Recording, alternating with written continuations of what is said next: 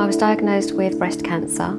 It's really hard to talk about. I was diagnosed with stage four. It's terminal.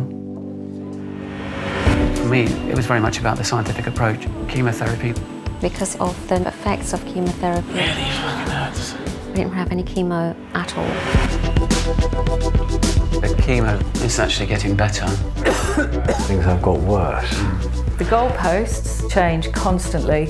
Diet is juice every day. I take organic foods, supplements, cannabis oil. I'm part of the criminal underworld now. How successful do they think your course of action is being? Yeah, it's just got bigger. It's really confronting. Started coughing up blood. We don't know how long we're going to go on like this. I want to live. I just know that I can kill this cancer. You've just got to hold hope.